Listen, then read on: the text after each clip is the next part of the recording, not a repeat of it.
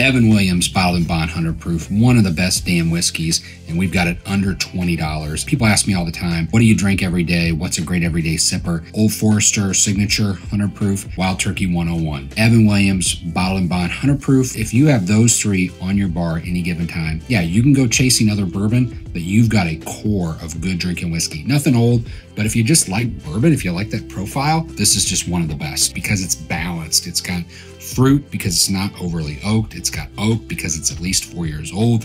It's got proof. It's 100 proof. Um, it's Heaven Hill, so it's got this big blast of mintiness to it. And then it's got just a woodsiness and kind of a forest floor aroma as well. You take a sip. Mm, it's sweet, which is what you want in a bourbon, I think. Uh, if it gets too old, it loses that sweetness. It picks up oak. Some people like that.